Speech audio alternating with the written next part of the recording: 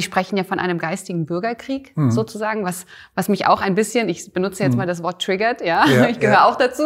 Ja, ähm, Sie sprechen von ähm, emotionaler Inkontinenz, mhm. ja, in, äh, in diesem 21. Jahrhundert.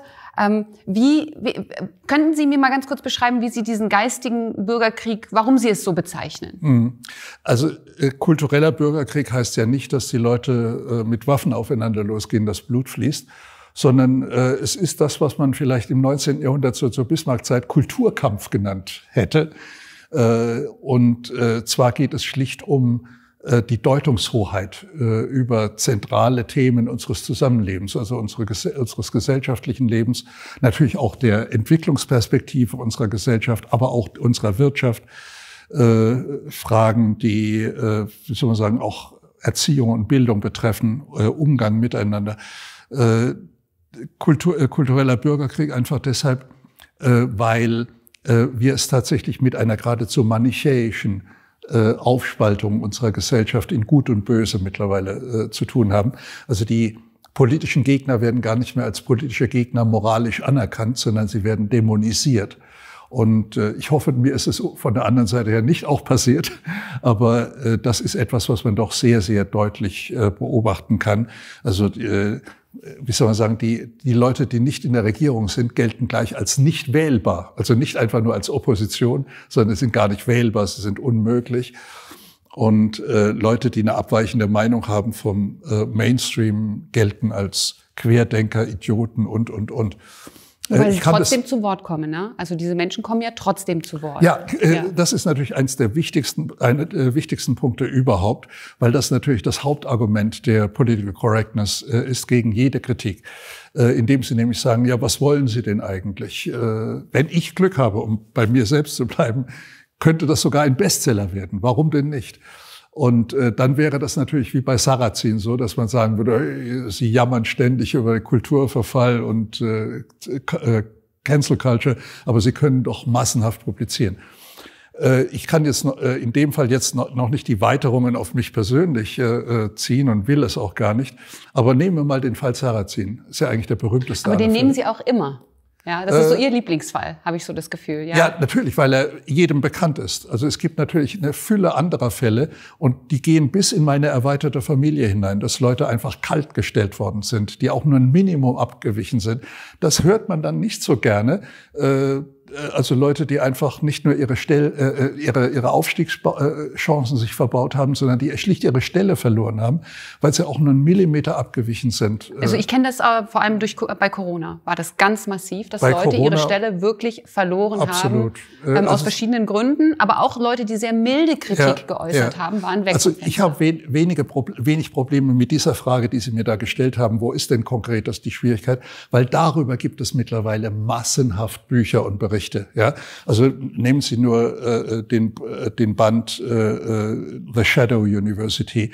Äh, das ist eine Aneinanderreihung solcher Fälle, wo Leute, äh, wie soll man sagen, ans Ende ihrer Existenz gedrängt wurden, heraus aus ihrem Beruf sozial geächtet worden sind, nur weil sie abweichende Meinungen zu bestimmten Themen äh, dazu gibt es in, in, Deutschland mittlerweile eine Fülle von äh, Fällen. Äh, äh Schuler, äh, der früher bei der Bildzeitung war, hat dazu Generation Gleichritt auch ein sehr schönes phänomenologisches Buch gemacht, also Fälle aneinandergereiht und, und. Also das muss ich eigentlich nicht mehr tun. Nicht? Also da würde ich dann einfach sagen, wenden Sie sich an meine Kollegen, die geben Ihnen dann Tausende von Beispielen. Äh, für mich ist der Fall Sarrazin nur aus dem Grund besonders äh, wichtig, weil ich den ersten selbst mitvollzogen habe. Also ich bin ja als alter Mann auch noch, wenn man es will, präsent gewesen, als das alles passiert. Das liegt ja auch schon Jahrzehnte zurück.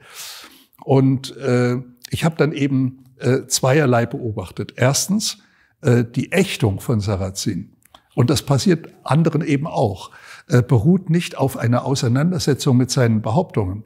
Äh, die Ächtung vollzieht sich ohne Kenntnis seiner Thesen.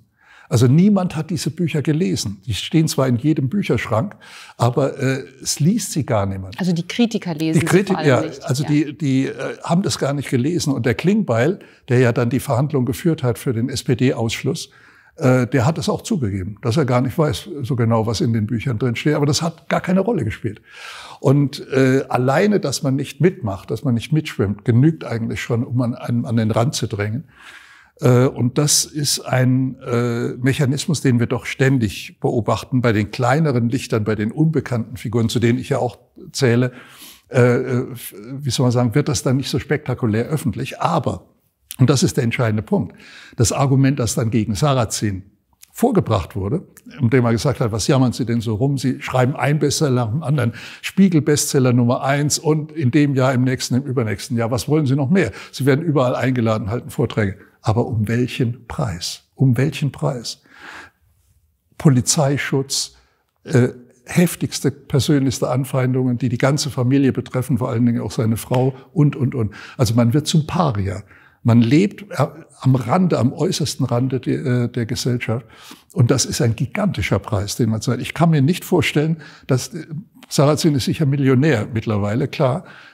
Aber ich kann mir nicht vorstellen, dass die Millionen, die er da auf seinem Konto hat, dass die in irgendeiner Weise das kompensieren können. Also diese Tatsache, wirklich ein, ein Paria zu sein, ausgeschlossen zu sein aus der äh, Gesellschaft der Guten und der offiziellen Gesellschaft.